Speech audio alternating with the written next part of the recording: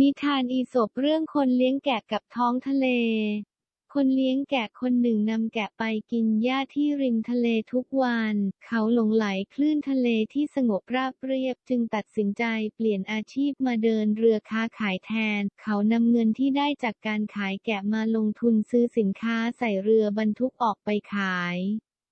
เมื่อเขาแล่นเรือออกไปได้ไม่นานก็เกิดพายุพัดพาคลื่นลูกใหญ่ซัดกระหน่ำใส่เรือของเขา จนเรือเกือบล่มเขาตัดสินใจโยนสินค้าลงทะเลแล้วกลับเข้าฝั่งเพื่อหวังรอดชีวิตวันหนึ่งขณะที่เขายืนมองทะเลอยู่นั้น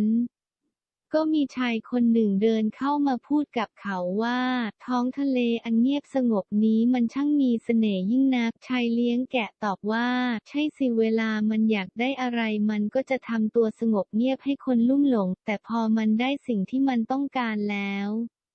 มันก็จะแสดงท่าแท้ออกมาความโหดร้ายมักซ่อนอยู่ภายใต้ความสวยงามนะท่าน นิทานเรื่องนี้สอนให้รู้ว่า แม้ในที่ที่สงบเงียบก็ยังมีอันตรายแฝงอยู่ พุทธภาษิตท่านทั้งหลายจงเป็นผู้ยินดีในความไม่ประมาท